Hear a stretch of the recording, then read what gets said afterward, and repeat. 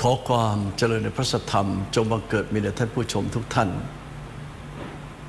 ได้อัญเชิญพุทธพจน์ ของพระสัมมาสัมพุทธเจ้า ที่ได้ตรัสเอาไว้ว่าชีวิตังพยาธิกาโลจะ เทหะนิเขปนคติปัญเจเตชิวโลกสมิงอนิมิตานะนายเรอาตมาย้ำสามสิบสองคำทุกครั้งนะ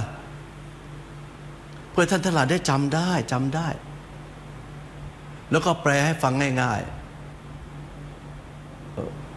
ว่าชีวิตยาวหรือสั้นใครนั่นรู้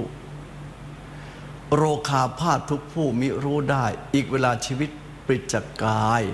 ปริจจกาย ลมหายใจมันออกไป มันแยกกันเขาเรียกลมปราณ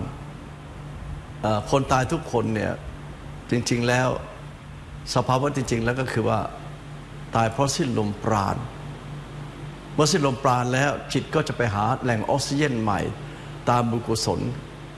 ถ้ามีบาปก็ไปสู่ที่แดนไม่มีออกซิเจนท่านมีชีวิตอีกแบบหนึ่งที่อับออกซิเจนจะเป็นสัตว์นรกสัตว์เดรัจฉานเป็นอสุรกาย เขาให้พอดีหายใจทรมานท่านเออปลาลึกๆ ในท่านรูปร่างหน่าเกลียดหน่าชังอาตมาเห็นปูตัวใหญ่ๆเนี่ยนะรูปร่างคล้ายๆทศกัณฐ์น่ะ หน้าตายักษ์เนี่ยเขาถอดมันจะปูนะท่านนะถ้าไปดูหน้าหน้าโขนเถอะเขาถอดมันจะปูเลยฮะอาตมาเห็นปูเนี่ยมันกล้าฉันแล้วท่านไอ้ตัวใหญ่ๆนะฮะเบือนหน้าหนีเลยก็แล้วกันกุ้งเกิ้งอะไรเนี่ยที่เรามาเป็นอาหารเนี่ยนะเพื่อเพื่อ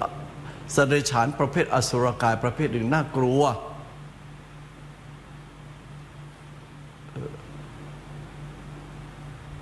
เพราะฉะนั้นอิวาที่วิปริจกาย สถานที่ตายไม่รู้ทุกผู้แล ใครจะรู้สถานที่ตายแล้วท่านไม่มีใครรู้หรอกมหาเศรษฐีตายข้างถนนตั้งเยอะแยะ อยู่ต่างประเทศมาตายประเทศไทย นักบินอยู่บนอากาศ คนคนอยู่บนโลกนี้ไปบินบนอากาศระเบิดนะทั้งเครื่องบินตายบนอากาศก็มีบางทีบนอากาศไม่ตายดิ่งลงมาตายในทะเลเอ้าจากพื้นดินไปอากาศดิ่งลงมากลางทะเลสัตว์เดรัจฉานมาตายบนบก เห็นความตายของคนเนี่ย เราไม่รู้สถานที่ตายทำใจท่านทำใจ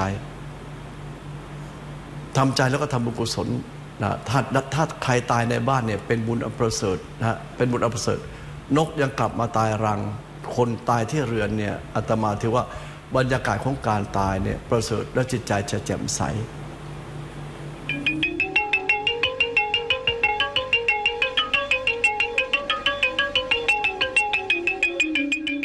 าวสนุกเฮฮาน้ำตาเล็ด